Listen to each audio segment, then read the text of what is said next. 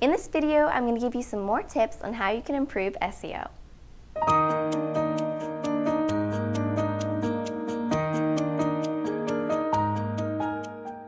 In a previous video, I've explained that SEO, or search engine optimization, helps your website place higher on a list of search engine results.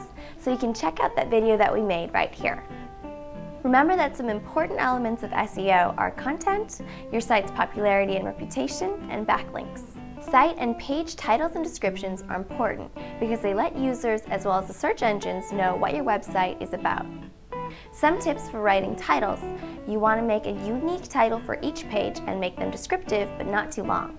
So to change your title and description for each page, you can log into the editor and right here on the site menu, you can click on the icon and click to edit the page properties.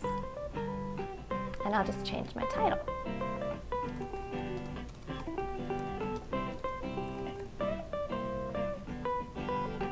Descriptions can be important because they can be used as the snippet that users see on a search query.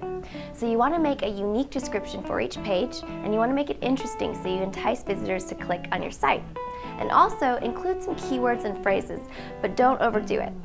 So here's an example.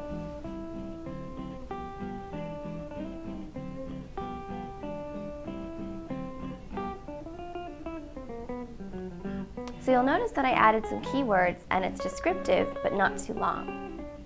When you add content to your site, you can incorporate some key phrases, but make sure that you don't incorporate them too often because your website could be marked as spam by the search engines. Also keep in mind that when you add images, search robots won't know what your image is about, so you might want to add a title and description for your images. So you can do that when you're editing the main content. You can click on the image, And right here, you can change the image description and title.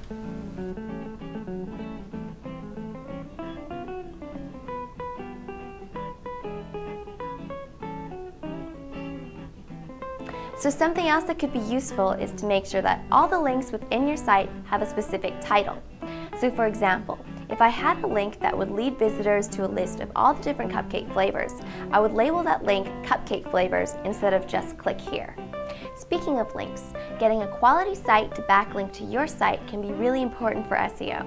So one way you can get backlinks is to guest blog for other sites. So if you can find a high-ranking blog that's relevant to your site, you can offer to provide some content for them. So one of the best ways to increase your relevancy and your reputation is to add fresh content often. So one way you can do this is to create a blog.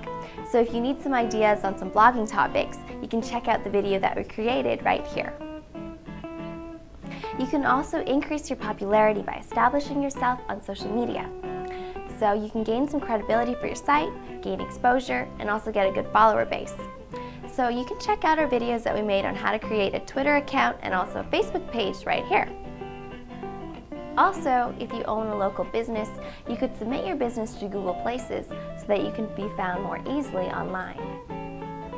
Lastly, remember that good SEO is pointless if you don't have a clear call to action on your site.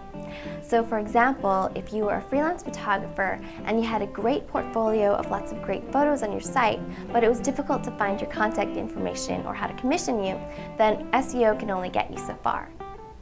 So that's it for this video, and I hope it was helpful. Just keep in mind while you're designing your site, you always want to keep the user's experience in mind, because while SEO strategies may change over time, it's never a bad idea to keep your website relevant and up to date and interesting so that visitors will want to keep coming back.